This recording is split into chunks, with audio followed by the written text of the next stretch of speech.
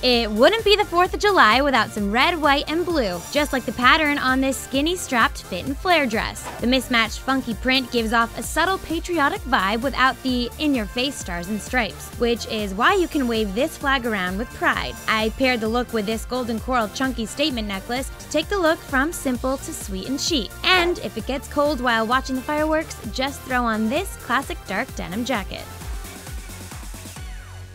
This neon red flowy blouse is lightweight, sophisticated, but still 100% fabulous and perfect for a barbecue, especially when paired with these bleached out denim shorts. The slight sheerness of the top adds just a bit of sass. It's shorter in the front but hangs longer in the back.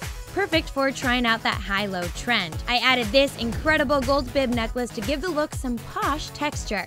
You're sure to stand out like a sunflower in this festive holiday look.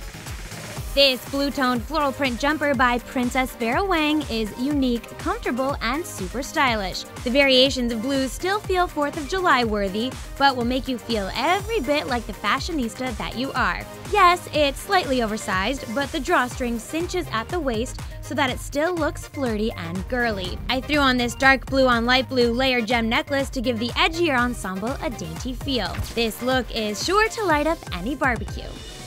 Nothing says America like rock and roll, which is why this look is perfect for a festive barbecue. The geometric pattern crop top features all the red, white, and blue you could ever want. I paired the fun tee with these distressed black denim cutoff shorts to take the bohemian hipster vibe up a notch. This gunmetal and redstone necklace ties the free spirited look together, and this American flag inspired bag is the perfect touch. Almost as good as this Stars and Stripes mud scarf that can easily double as decoration. Did someone say photo booth backdrop? Ta da!